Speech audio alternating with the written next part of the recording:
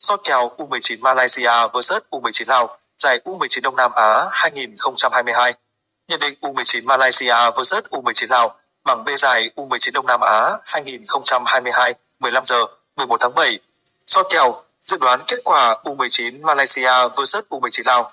Trận đấu giữa U19 Malaysia và U19 Lào tại lượt trận cuối bảng B giải U19 Đông Nam Á 2022 diễn ra vào lúc 15 giờ ngày 11 tháng 7.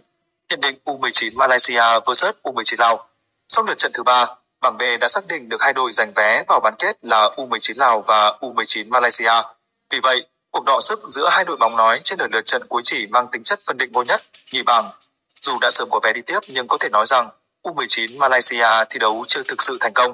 Bước vào một bảng đấu với toàn những đối thủ chiếu dưới nhưng bầy hổ lại chơi rất chật vật với hai thắng và một hòa. Đang nói, hai trận thắng của U19 Malaysia đều chỉ có cách biệt một bàn. Sự dườm già và thiếu quyết đoán chính là nguyên nhân lớn nhất khiến đội bóng áo vàng đen thi đấu không tốt trong những trận đấu đã qua.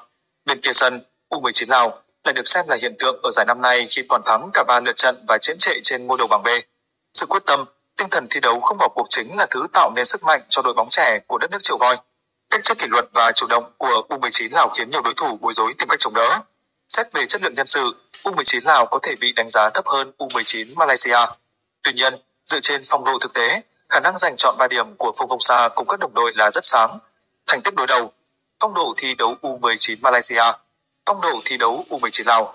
Đội hình dự kiến, U19 Malaysia, Sukri, Raniza, Zamri, Fauzi, Akmo, Fezo, Adi, Halim, Juslan, Hairi, Nohisam, U19 Lào, Dalazin, Sinh Sa Vang, Phong Phong Sa, Insumang, Vông Kosi, Omlat Sam, Sinonarat, Chinolat Thơ, Khan Tha Vong, Suvani, Bao Công.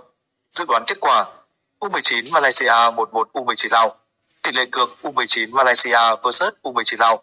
Kèo châu Á 0-1-2. Tài xỉu 23 trên 4.